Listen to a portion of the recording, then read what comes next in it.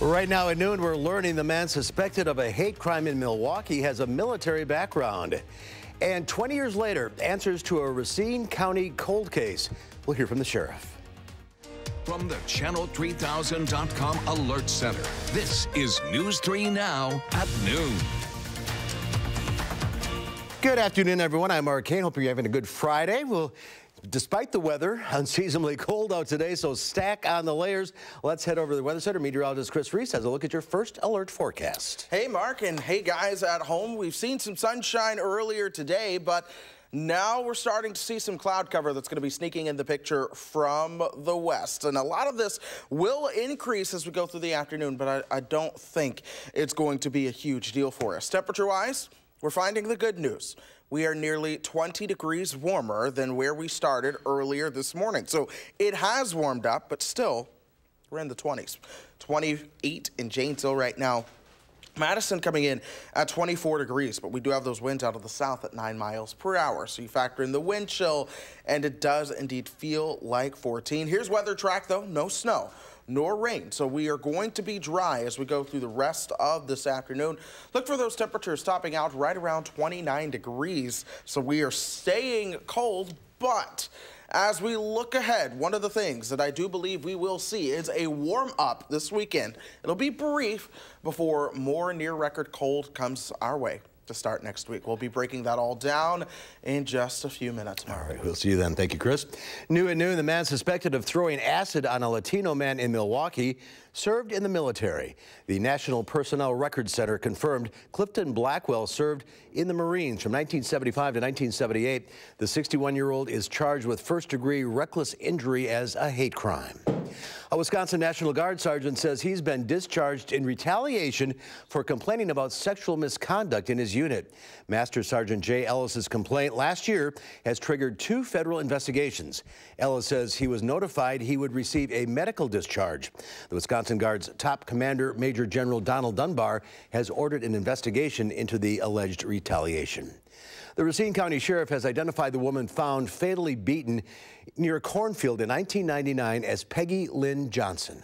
After her mother died, Peggy, who was approximately 18 years old, cognitively impaired, on her own, went searching for help at a medical clinic in McHenry, Illinois. There, she met a registered nurse named Linda LaRoche, who recognized Peggy's disability and took her into her home. Peggy lived with LaRoche in McHenry for the last five years of her life. There, she suffered long-term and horrific abuse at the hand of Linda LaRoche. Johnson was 23 years old when she was murdered. She has been now been buried. She was buried as Jane Doe and now will be buried alongside her mother in Illinois under her true identity. Racine County investigators arrested Linda LaRoche in Cape Coral, Florida on Tuesday. The sheriff says she will soon be back in Racine to be held accountable. To Washington, the White House is calling for the identity of the whistleblower who triggered the impeachment inquiry to be revealed. The attorney for the whistleblower sent a cease and desist letter to the White House accusing President Trump of using rhetoric that could endanger their life and the lives of their family. Today, acting White House Chief of Staff Mick Mulvaney did not show up for his deposition Uh, public hearings begin next week. Tomorrow marks the 30th anniversary of the fall of the Berlin Wall, and Secretary of State Mike Pompeo is in Germany commemorating the historic event. CBS's Gwen Baumgartner reports from London. The world watched as East Germans stormed the Berlin Wall 30 years ago. Residents were overwhelmed at the chance of a new life after the travel ban was lifted. Newspaper headlines read, The wall is gone, Berlin is Berlin again. He says, This is finally our hour of freedom. The wall was built in 1961 because too many people were fleeing Soviet controlled East Berlin to escape to the West. Hundreds of East Germans were shot to death trying to find freedom. Secretary of State Mike Pompeo was stationed near Berlin as an army officer during the Cold War. This week, he returned to commemorate the fall of the Iron Curtain. But as we celebrate, as we take this victory lap, we must also recognize that freedom's never guaranteed. Mr. Gorbachev, tear down this wall. Even after President Ronald Reagan's famous words, it took another two years for the wall to come down. Now 81 years old, Dagmar Simdorn says she'll never forget the moment she could finally cross the border. She says it was something beautiful. The whole of the past came crashing down. Decades later, parts of the wall still stand as a memorial to symbolize the collapse of communist regimes across Europe. What was once a barrier to the outside world now welcomes millions of visitors to Berlin each year. Gwen Baumgartner, CBS News. And during his visit to Berlin, Secretary Pompeo unveiled a statue of former President Ronald Reagan. The city named Reagan an honorary citizen in 1992 for his efforts to reunite Germany. Well, General Motors has announced that it has sold its Lordstown, Ohio plant to electric truck startup Lordstown Motors Incorporated. The plant officially closed down last month when GM and the United Auto Workers Union reached a contract agreement after a protracted strike. The hope is that the sale of the plant will result in jobs coming back to the area. The mayor says the sale could result in roughly 400 jobs. Expect traffic shifts on Verona Road this weekend. Crews are putting the final touches on the expanded lanes between Raymond Road and County PD. There'll be overhead signs to help drivers shift into the new lanes. Starting Sunday morning, three lanes will be open for southbound Verona Road traffic. By Monday morning, three northbound lanes will be open. Volunteers are working through the weekend trying to break the cycle of homelessness. More than a dozen Home Depot employees in Appleton are spending their free time improving living conditions for homeless veterans. They're renovating the COTS shelter that helps vets while they get back on their feet. Our veterans have given, I mean, some of the ultimate sacrifice, so it's important that we give back to them as, as a small token of appreciation at least. The campaign is spending about 100,000 hours on projects. The Home Depot Foundation plans to spend a total of $500 million nationwide on veterans projects by 2025. And there's more to come on News 3 Now at noon. I'm next, we'll see what Howard's working on in the Mr. Food Test Kitchen. What if I told you that we were making lasagna without using any of the typical ingredients? Well, we aren't. Boy, is it tasty.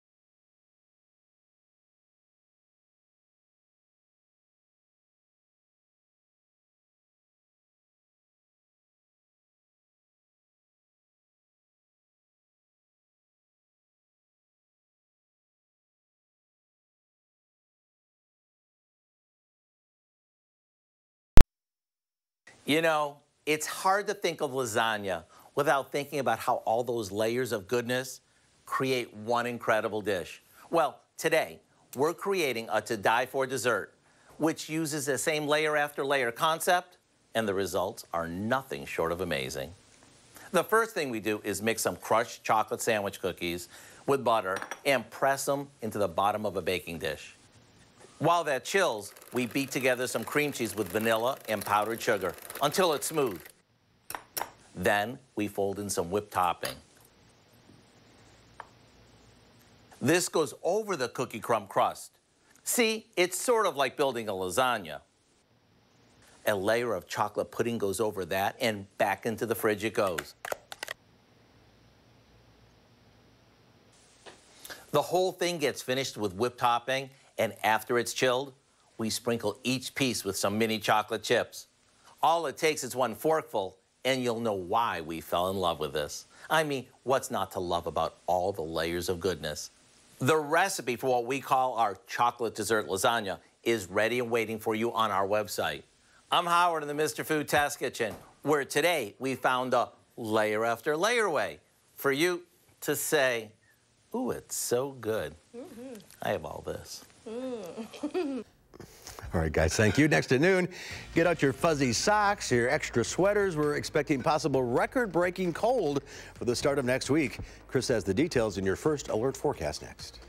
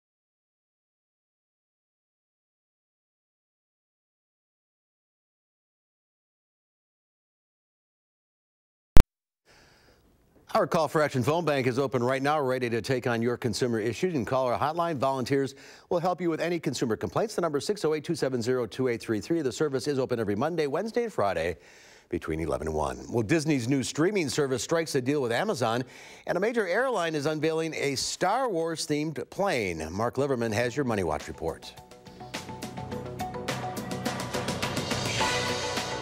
Mixed messages on a potential phase one trade agreement between the U.S. and China. White House trade advisor Peter Navarro denied reports the two nations have agreed to roll back tariffs as part of the first part of a trade deal, while Press Secretary Stephanie Grisham said in a Fox Business interview she imagined tariffs could be lifted if such an agreement is reached. Disney Plus has reached a deal with Amazon. The agreement allows the streaming service to be carried on Amazon's Fire TVs. Disney Plus will offer Disney, Fox, Pixar, Marvel, Star Wars, and National Geographic content. It launches next Tuesday. The cost, $7 a month. Airbus continues to extend a wide lead over Boeing when it comes to airplane orders. It had 415 airplane orders in October. Boeing reported a net total of 54 orders through the end of September. The company has been hit by the grounding of its 737 MAX jets after two deadly crashes. And United Airlines has unveiled a Star Wars themed plane in anticipation of the final installment of the saga, The Rise of Skywalker. The 737 gives fans a chance to enjoy droid greetings and stormtrooper selfies. Customers can track the jet using the plane tracker FlightAware. May the force and flight be with you. And that's your CBS Money Watch report. For more, head to cbsmoneywatch.com. At the New York Stock Exchange, I'm Mark Liverman. And at the noon hour, the Dow Industrials down 35 points. The NASDAQ, however, up 15. The S&P 500 up a fraction. Q106 Farm Director Pam Jahnke is out of the radio bar.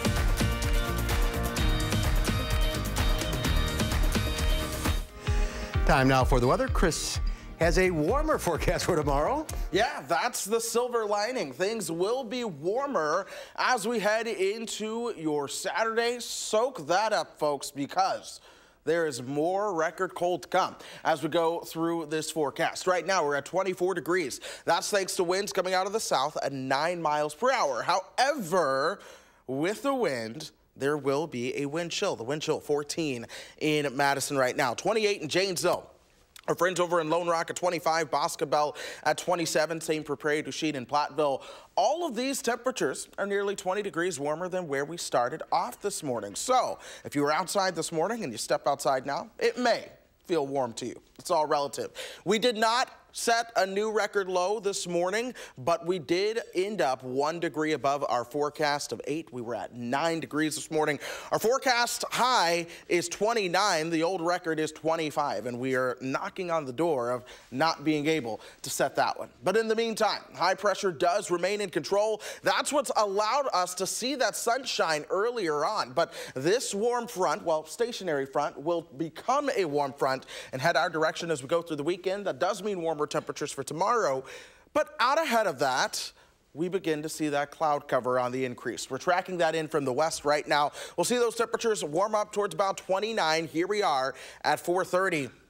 Overnight tonight, you'll start to see the influence of that warm front. At 9 o'clock, temperatures will be right around 22. Notice the winds coming out of the south at that point. A strong southerly wind really helps to warm you up even at night. So now at 3 o'clock in the morning, we've gone from 22 to 28 degrees, and by the time we're waking up on Saturday morning, that south wind sticks around but the temperature makes it into the low 30s at that point. Then we'll see the low 40s for those afternoon highs, but I do believe that cloud cover is going to be sticking around for us. I can't rule out an isolated flurry or shower tomorrow. You just saw that on Future Track, but it should not be widespread by any means. I think the cloud cover will be the bigger story as we go through the weekend, but the cold is going to be the story headed through tonight. So a lot of those schools still have playoffs when it comes to high school football. If you're going out tonight, you will want that coat Wind chills will be right around 15 degrees. You'll start to see that increase in cloud cover. Temperature wise, we'll be hovering right around the low to mid 20s. Then tomorrow, it is girls on the run. That's going to be in Waunakee. Temperatures again will be in the 20s with wind chills around 10 to 15 degrees earlier in the morning.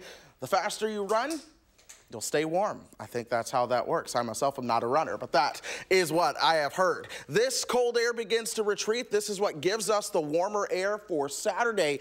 By the time we move towards Sunday afternoon and early next week, it is the core of the cold that really begins to pour down on the upper Midwest. This, folks, this brand of air will likely be colder than what we've already seen so far. So I do believe that, again, records will be in jeopardy. Our average high is 49 right now. 29 today. How about 20 by the time we get you towards Tuesday? I'm being generous, but I'll tell you what, the models, most of them do not get us out of the teens by the time we get you towards Tuesday. Cloud cover will be our friend on Monday to keep us just a couple degrees warmer, maybe. We'll see a chance of some flurries as well, but we do have alert days for Monday, Tuesday, and Wednesday just because of how unseasonably cold this is. And it's come so early in the season, a lot of folks probably aren't adequately prepared for it. So we want to make sure that they are aware of the cold that is to come and can take those actions in advance. Not bad for the Badger game tomorrow. Kickoff's at 3. No, the Badger game's going to be fantastic yeah. tomorrow. I mean, you know, if you're Relatively cool 40s, yeah, it's going to feel like spring tomorrow yeah, compared to what we've seen. All right, Chris, thank you. Next at noon, Angie Horkan from the Beef Council makes pasta recipes that are perfect for your next dinner party or even for the kids. Stay with us.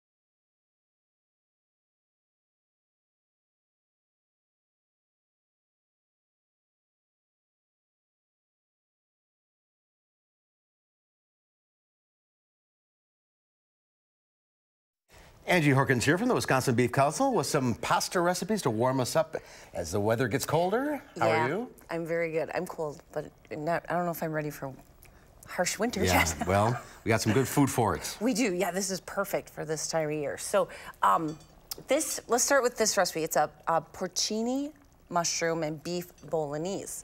So bolognese, that's a really hearty, thick Italian meat sauce. So you start with two pounds of lean ground beef, some onion, um, some green pepper if you like, garlic, simmer that, and then you're gonna add a lot of great ingredients. So pancetta, so you can get a little package. Mm-hmm. Mhm. This is four ounces, it calls for two ounces, so just chop that up, and then some prosciutto and red wine, and then you put that in and reduce it. So um, get all your ingredients in, put your wine in before the rest of your liquids, reduce it by half. So then the alcohol kicks, cooks off, and what's left is just that good base of flavor. Reducing is just letting it cook. Yeah, let it cook, let it simmer. And then some tomato paste, some um, sun-dried tomatoes. Now these are not packed in oil. Um, they're the dry in the bags. Just chop those up, and then the porcini mushrooms they call for dried, and you can find those in the supermarkets Mhm. here. And then just chop them up, and then those rehydrate in all your liquids. Your beef, and you put beef broth in, and then some cremini mushrooms, some fresh thyme. So a lot of really good ingredients going in, and let it simmer 45 minutes. So this is gonna make the house smell delicious. It does smell great. And it's gonna warm up the kitchen. So any pasta you can put it over. Put it over pasta. Oops, I got some bow ties here, whatever you like. You could top them with some great Parmesan cheese, some more fresh thyme if you have it, or parsley. Definitely a pasta dish fancy enough, I think, for company um, or for the in-laws, whatever you like. And for the Um, kids, we and got for the another one. kids- And for the kids, we got a quick 30-minute Tuesday night um, skillet meal, one-dish meal, chuck wagon beef pasta. So I just browned up a pound of ground beef with some onion and some green pepper. If the kids don't like that, you can skip it. But then used wagon wheel pasta put them in dry with some beef broth and then make kind of like a homemade barbecue sauce. Don't cook the Like pasta a first. sloppy Joe. No, put it in dry. It'll cook right in the beef broth and then a little ketchup, brown sugar, and apple cider vinegar. So it'll give it like that sloppy Joe barbecue flavor. And then when it's done, you know, let it simmer 12, 13 minutes to get the pasta cooked and then top it with some great cheddar cheese. All right, beeftips.com. Beeftips.com. Click on As Seen on TV right on the homepage. You'll get these pasta recipes. Plus, we've got a link to all of our, our pasta collection. On point And we'll see you at 4 o'clock on Tuesday with more of them. Yes. All right, good deal. Have a good weekend. You too. Chris has one final check of the forecast. Yeah, some clouds are going to sneak in as we go through the rest of the afternoon. Temperatures, though, should top out right around 29 degrees, 41 on Saturday. That's the warmest day of the forecast, folks. The warmest day. By Tuesday, we will struggle to get out of the teens. We do have alert days to start the upcoming work week, as each day will start out in the single digits for those afternoon highs. Bundle up, stay warm. Absolutely. All right, thanks for watching. We'll see you back here at 4. In the meantime, have a great afternoon.